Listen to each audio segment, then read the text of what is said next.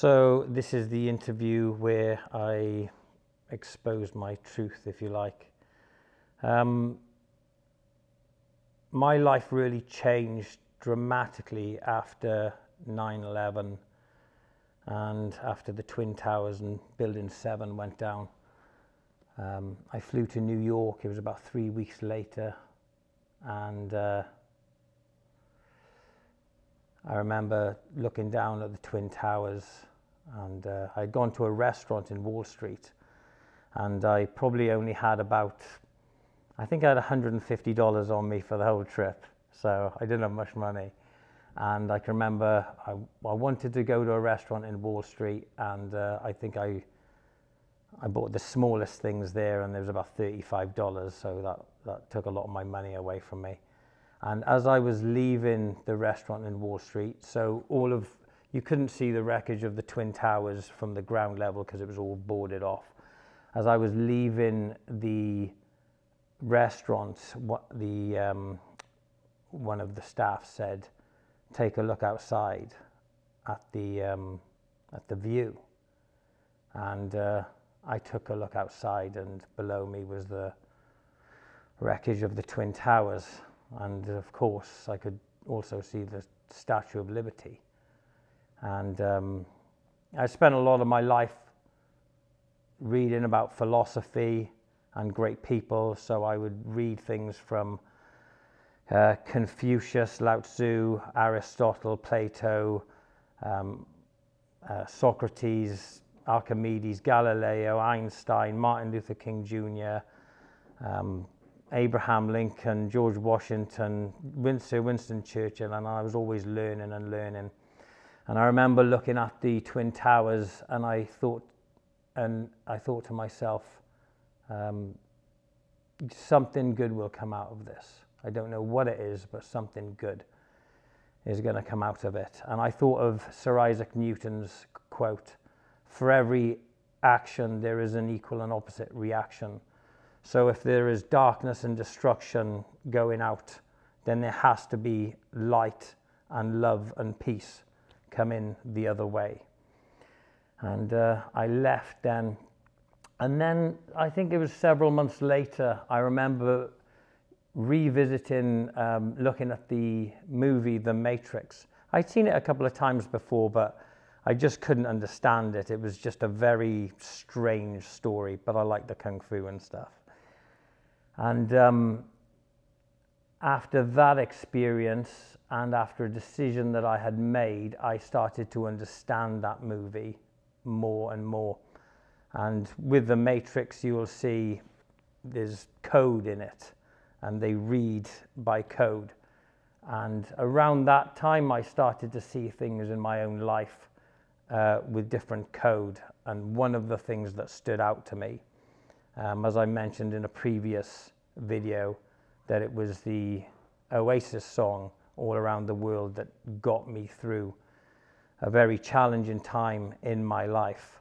And um, what I could see then when I was looking at the names was I could see that the word Liam spelt backward was mail, as in just a message. Um, Noel is another word for Christmas carol. Gala is a festival. And Oasis is a place of peace and harmony. And um, in other videos, and I will go into talk a bit more about them. Um, but that was very sort of life changing. The other thing that I noticed around that time was I was on a train and um, I had the map of Great Britain in front of me, and I could see that the last um, four places that I had lived. I could see Arbroath in Scotland when I was with 29 Commando Regiment Royal Artillery. Then I was in Park Lane in London as a bodyguard. Then I was in Cardiff working as a personal trainer. And then I went back to Haverfordwest.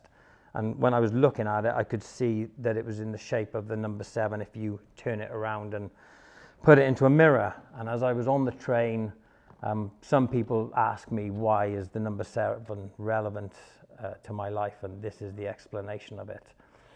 So I also realized that I was in seven commando battery.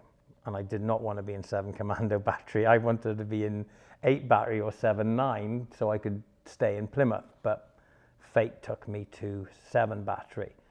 I also realized I was in 2 9 Commando Regiment and 2 Takeaway 9, 7, and I started, I didn't know what numerology was at the time, but I just started automatically doing it. Then I realized oh, I was in the army for seven years. Then I realized my birthday is on the January the 25th, 1974. 2 plus 5 is 7. January 7 letters long. 1 plus 9 plus 7 plus 4 is 21, which is three sevens. Um, there's a lot more to it uh, as well. When you look at the Matrix movie, then you will see that uh, there's a scene where Morpheus, Laurence Fishburne's character, says to Keanu Reeves' character, Neo, do you believe in fate, Neo? And he said, no. And he said, why not? And uh, Neo said, I don't like to believe I'm not in control of my own life. So I, when I started to see this stuff, I was like, this is just very strange. Yeah, the Matrix helped me greatly, even with these little little messages. It says trace program running, and of course the event that we're setting up here is a running event. The, the relevance of Oasis as well is if there was ever a song about freedom, then the Oasis song, Whatever, is that song. It is just perfect. And I know my American friends love freedom and they value it more than almost anything else. And, um, but there are several Oasis songs that are absolutely key to this event and very important, and I will be promoting them no end. Thank you again, Liam and Noel, and everyone that worked on The Matrix. I also noticed that, I mean, even though I don't have a religion, I do believe in a higher power, I believe in God. Um, but I was agnostic for most of, most of my life, I think. And, um, but I just noticed a lot of things re revolved around sort of Christmas, and I like giving stuff. So Santa Claus, and there was stuff about Jesus that I could sort of relate to. I was born on the 25th. Uh, my brother Darren, he's a carpenter. Um, I was born just outside Bethlehem, but Bethlehem, Pembrokeshire, Haverfordwest, and Bethlehem, Haverfordwest is where I was born. Yeah, I was born in St. Thomas's Hospital. Um, although I haven't read any um, religious books, for me, the most important gospel is the Gospel of St. Thomas. Um, of course, in the Matrix, his name is Thomas, Thomas Anderson. Um, and uh, with setting up this event, for many years it was just too difficult. I just didn't have the strength, I didn't have the ability. Then in February 2023, there were a lot of awesome things happening in my life, very exciting things. And um, I was in Knightsbridge in London. I was, I believe, opposite the Mandarin Oriental Hotel, somewhere in between there and Harrods. And um, my sodium levels crashed. And what I didn't know at the time was I was drinking so much water, I'd sort of drunk so much fluids, I'd sort of, the salt had sort of gone out of my system. And I you know, being a fitness trainer, I was always like, right, get loads of water down me. Um, but there can be too much water. So I ended up in the middle of the street in Knightsbridge and um, I caused a massive traffic jam right through Knightsbridge, right through Piccadilly, right through to Victoria at least. Uh, that side of the street was shut down, so I do sincerely apologize for any people that were stuck in that traffic jam on that day in February 2023. The police came, um, they lifted me out of there, uh, they got me off the floor, and um, I wasn't really making much sense. So the, the, the, logical for that thing for them to do was um, they didn't send me to hospital, they sectioned me, and uh, that's when things went bad, from bad to worse. I had been through stuff before those very challenging you know, relationship breakups, financial challenges, physical pain, um, uh, tough like ultra distance challenges, things like that. Losing people that are very, very close to me, all very, very very hurtful things, very um, challenging things, but nowhere near as challenging as February 2023. I could only really describe that as pure hell. So then I was sectioned, my, I was nearly dead from lack of sodium. Then I was put in solitary confinement. Um, so at that point, I, I, I thought that I was done. I was never going to get out of that place. I had massive sleep deprivation as well on top of that. Um, I ended up, God, I, I think there was covered in my own feces all over my face and my mouth. Um, by the time I got out of that mental health facility, I had frac- I had um, injuries to my face. I had um, head injuries. I, my eye sockets were fractured. I remember being dressed in blue and pink pajamas, and of course, no one's going to take you serious being dressed in that. Um, I was then shipped to a mental health facility in Haverfordwest. And there, the staff, I got to say, they were wonderful. There was a wonderful girl called Amy that looked after me like an angel. But they were all really, really great. Um, and then I had seen the psychiatrist, uh, the first psychiatrist, and he said, uh, he said he had never seen sodium levels that low in his life. Um, I was just very grateful to still be alive. I went back and was assessed by another psychiatrist.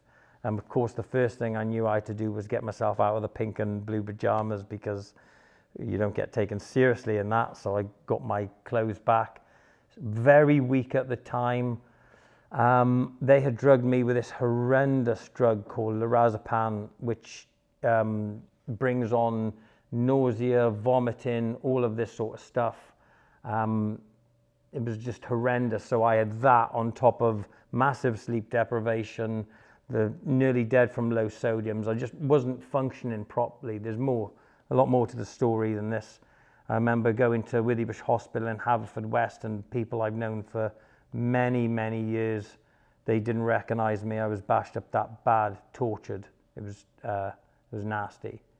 Then I was assessed by the psychiatrist and I'd say like a few weeks before that happened, if you would have said go and run 30 miles, I could have done it, no problem. Um, but I could barely walk. I was so ill, so bad. And then the next week I got assessed and I got my sodium levels were a bit better. My strength was starting to come back. So I was more like Mark. I was like, hi, hi, how are you doing sort of thing. And um, then the psychiatrist said to me, hmm, he said, well, you were very low last week.